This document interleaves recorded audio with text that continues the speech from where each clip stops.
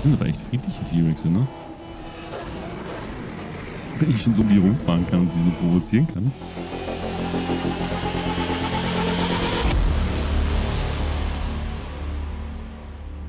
Herzlich willkommen zurück bei Jurassic World Evolution hier beim Metalizer. Ja, es gab ja schon einiges zu sehen und ähm, wir machen jetzt direkt weiter. Und zwar würde ich mich ganz gerne mal um die eine oder andere Mission kümmern. Und zwar sollen wir jetzt ein Pentaceratops mit einer Bewertung von 128 freilassen. Ja, beim letzten Mal hatten wir unsere T-Rex hier. Äh, die beiden, die wir ein bisschen, ja, genetisch verändert haben. Und deswegen würde ich sagen, bauen wir jetzt einfach aufgrund dieses Erfolgs mal ein wenig weiter. Und dieses Gebiet hier eignet sich, denke ich, zumindest ganz gut. Wobei wir können noch hier. Ähm, ja, wir machen es wir hier. Wir machen es hier. Wir lassen hier den Pentaceratops ähm, mal Brei. Beziehungsweise brüten den. Das heißt, wir bauen erstmal das Gehege. Ähm, müssen wir erstmal gucken. Ich denke mal, hier passt das ganz gut. Ja, hier passt das gut. Und ähm, natürlich müssen wir das Gelände ein wenig ebnen. Wie immer. Damit das wieder alles ein bisschen ansehnlich und gut aussieht. Wir müssen mal schauen, wie wir das mit dem Gehege hier am besten machen, damit die Leute auch was sehen können. Ah, da müssen wir mal schauen, wie wir das am einfachsten hinkriegen. Aber da werden wir auch jetzt gleich einen Weg finden. Ja, das Leben findet immer einen Weg. Wir machen hier mal elektrische Betonzäune, weil so, wenn so ein Pentaceratops äh, ausbricht mit den Hörnern, ähm, dann ist nicht so viel Spaß da. Und äh, wir ziehen das Ganze jetzt mal so ein bisschen in die Richtung hier. So, dann haben wir auch schon, naja, nicht ganz. Wir müssen natürlich auf der anderen Seite auch nochmal ein Gehege oder einen Zaun bauen, besser gesagt. Und wir setzen natürlich hier wieder die runden Zäune ein.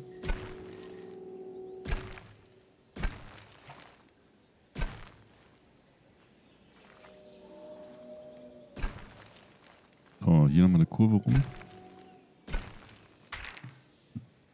Ja, dann sieht das Ganze doch ähm, halbwegs annehmbar aus, würde ich sagen.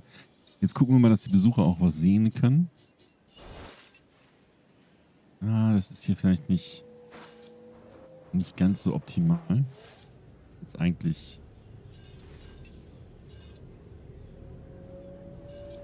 Ah, wie bauen wir das denn am besten jetzt hier auf der Ecke?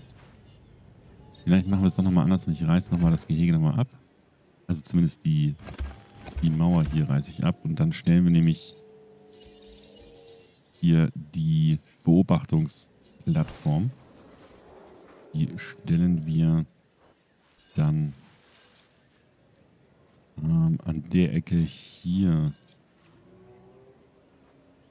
hin. Ja, dann ist es, äh, der Großteil des Geheges sichtbar. So wie wir es eigentlich auch haben wollten. Das gucken wir mal, dass wir nochmal einen Weg rankriegen. Auch das sieht jetzt gut aus. Jetzt müssen wir nur mal gucken, dass wir das Gehege hier nochmal abschließen. Ähm, wir brüten schon mal den Pentaceratops aus mit der Bewertung von mindestens 128. Wobei, bevor wir das machen, brauchen wir natürlich noch Upgrade-Plätze. Und zwar machen wir die Erfolgsrate 4.0 mit rein. Würde ich sagen, machen wir auch direkt ähm, dreimal, damit wir 120% am Ende haben bei der Erfolgsrate. Und dann brüten wir mal. Wo haben wir denn den Pentaceratops? Wahrscheinlich bei P. Hier haben wir ihn. Und wir gucken mal, was wir beim Genom, bei der Genommodifizierung mal machen können. Das Muster ist okay. 79 Bewertungen, ja. Das passt auch. 89er Bewertung. Wie gesagt, wir gucken mal hier unten auf die Bewertung.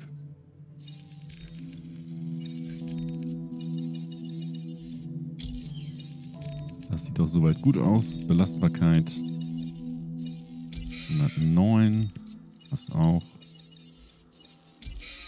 Hier eine 120er Bewertung. Fantastisch. Und bei der Verteidigung ja, 124 Sozialverhalten. Ist ja ein kleines Gehege. Es ist ja ein kleines Gehege, wobei... Ja, ich will jetzt nicht das Sozialverhalten auf... Nee, nee. Naja, das lassen wir so, wie es ist. So, hier nochmal erhöhte Knochendichte. Und dann sollte der auch passen für 1,4 Millionen. Da brüten wir gleich zwei aus. Gut, und dann brauchen wir natürlich auch noch was zu fressen. Das heißt, wir bauen hier im Gehege nochmal eine erweiterte äh, Bodenfutterstation für Pflanzenfresser hin. Einmal hier und einmal dort. Und ähm, dann kriegen wir natürlich noch ein bisschen Wasser. Wir hoffen, dass wir es irgendwo hin platzieren können. Ja, ja, dann müssen wir es ein bisschen anders machen. Dann müssen wir hier ein bisschen erhöhen. Dann gucken wir mal, ob es hier dann gleich klappt.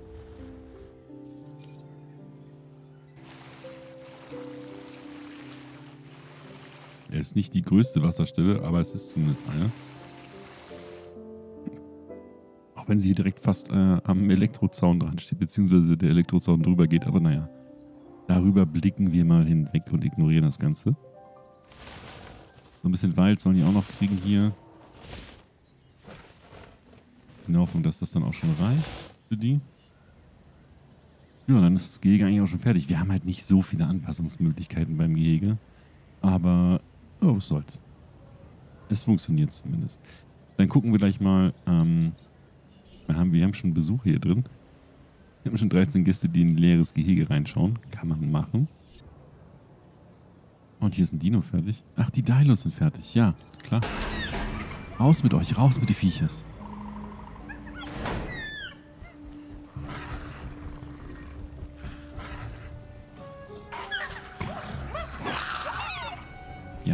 Begrüßt deine neuen Freunde. Ja. Ich neuen Alpha hier aus wahrscheinlich. Gut. Den lassen wir frei und den hier auch. Dann haben wir da wieder ein bisschen mehr Gesellschaft. So, das Ranger-Team kann sich dann gleich mal hier um die Futterstation kümmern, um die beiden. Und hier oben auch. Oh je, alter Schwede. Dann nehmen wir aber das zweite Ranger-Team.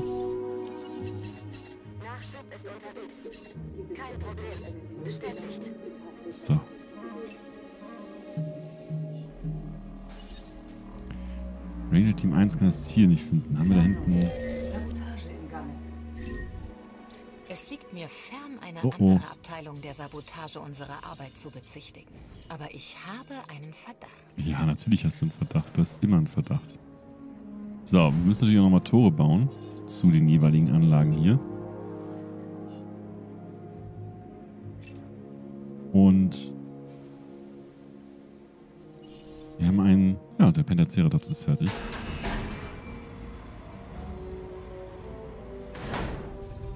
Ui, schönes Muster. Wie ich finde.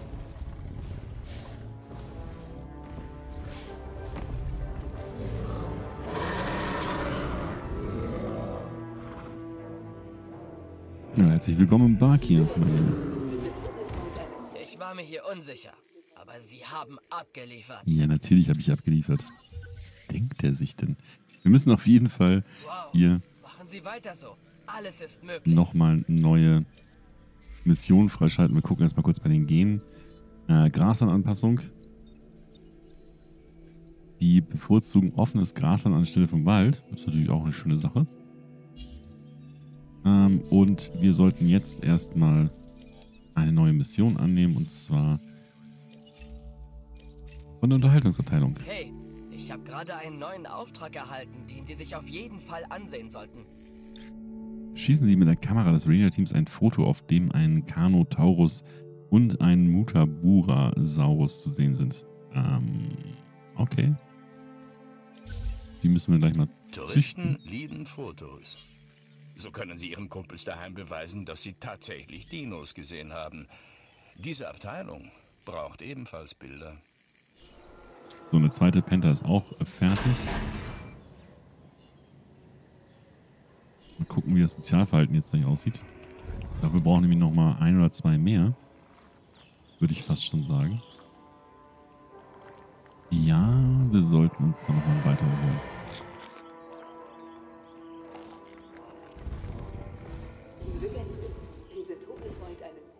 Oder? Ja, definitiv brauchen wir noch einen oder zwei weitere. Wir können einfach mal zwei gleich züchten. So, ausbrüten und ausbrüten. Die beiden sozialisieren sich jetzt hier gerade. Ja, ihr, ihr sollt Freunde werden, die beiden, ne? Bitte? Nein, ich will nicht. Doch, du musst. Ja, okay, die sind immer noch einsam. Aber gut, der ideale Bestand sagt auch 3 bis 5, beziehungsweise soziale Gruppe sagt 3 bis 5.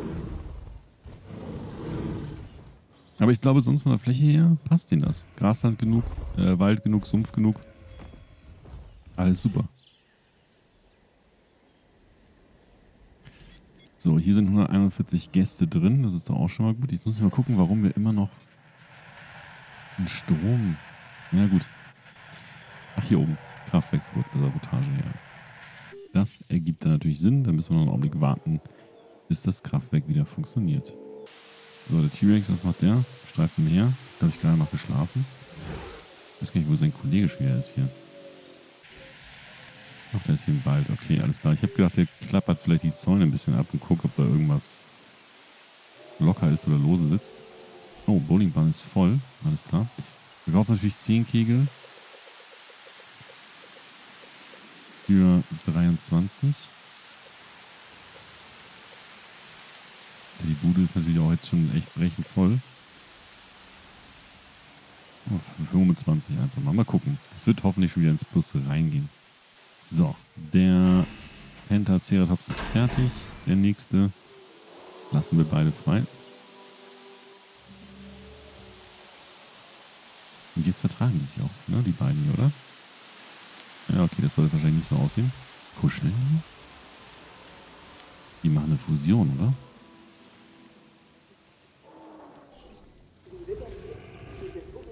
Ja. Jetzt freuen die sich über neue Gesellschaft.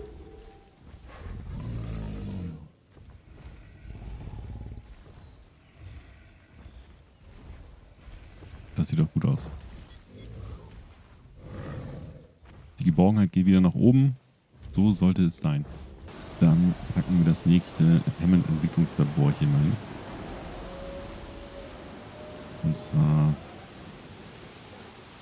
an der Stelle hier. So, da müssen wir ein bisschen glätten. Wir sehen es.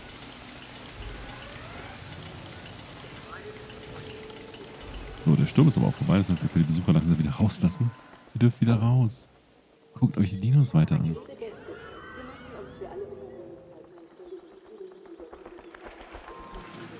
Und wir brauchen hier natürlich auch wieder ein bisschen Strom. Das können wir, glaube ich, an der Stelle hier sogar ganz gut machen.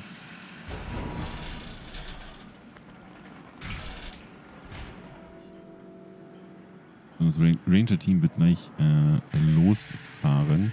Oder fährt hoffentlich schon. Ja, die füllen jetzt hier gerade das Ganze auf. Und dann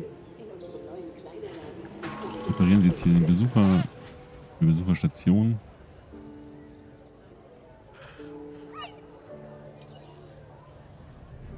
Und dann sollten wir vielleicht hier nochmal... Ist alles verbaut, ne? Ach, das ist nah am Dino hier. Okay, alles klar. Haut ab, ihr kleinen Dinos. Jetzt können wir es bauen. Dann können wir eigentlich hier auch nochmal einen Durchgang machen. Damit unsere Ranger-Teams hier auch vernünftig durchkommen. Da auch nochmal ein. Ja. Und dann passt das. So können die Ranger-Teams wenigstens durch die einzelnen Gehege fahren und müssen nicht irgendwelche Umwege fahren, so wie hier jetzt. So wie die jetzt hier. Fahren geschmeidig an den ganzen Besuchern vorbei. Also das ist ein sportlicher Fahrer hier. Nimmt auch keine Rücksicht auf irgendwelche Menschen. Da wird einfach drüber geheizt. Und nochmal hier das Umspann, äh, beziehungsweise den Strommast, der wird auch nochmal mitgenommen. Kein Problem. Und jetzt wird das große Umspannwerk da hinten nochmal repariert.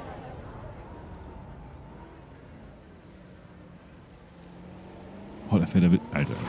Der ist mutig. Der hat Bock. Und wir können es natürlich auch selber fahren.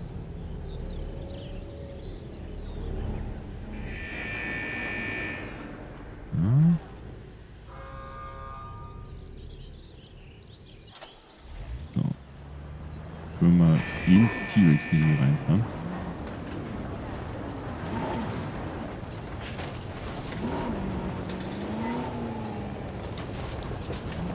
Foto von den beiden machen. Hallo.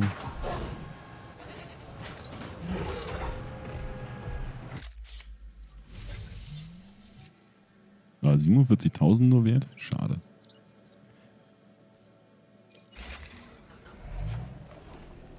Oh, die kleine Ziege. Das Foto haben Sie ganz allein gemacht, ja? Ja. Die Signalpistole, bin ich mir immer nicht sicher, was die jetzt eigentlich bewirkt. Wir testen es einfach mal.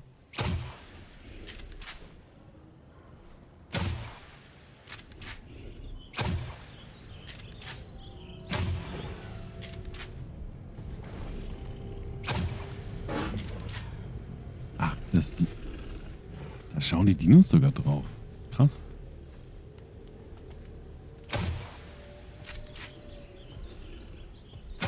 Ja, scheint die T-Rex den beiden gar nicht zu stören, ne?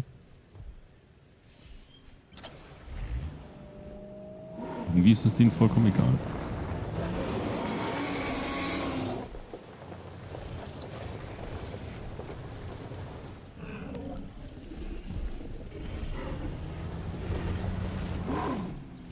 Hallo, jagt die mich auch vielleicht mal? Psst, leise. Können die noch in die Jacken reinfahren? Oder auch nicht. Die haben keinen Bock, mich zu jagen, ne?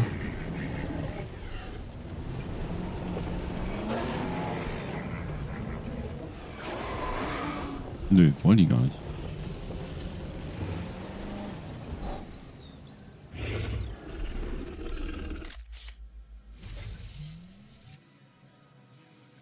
Oh, Tyrannosaurus Rex ein Ranger-Team angreift. Hups.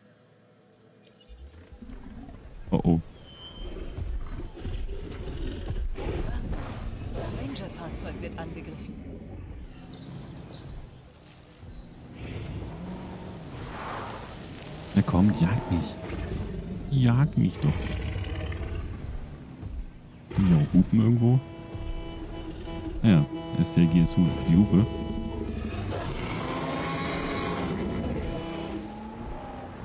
Das sind aber echt friedliche T-Rexe, ne? Wenn ich schon so um die rumfahren kann und sie so provozieren kann.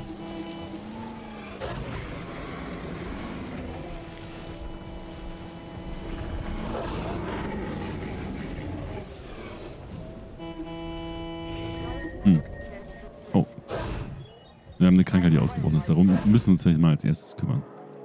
Ähm, wo haben wir es denn? Wer ist denn hier krank? Und um den Strom ist es auch direkt mal. Hier haben wir einen Dracorex, der krank ist. Da schicken wir doch gleich mal den ACU-Helikopter hin. Einmal behandeln bitte hier, damit hier bloß keine Krankheit ausbricht.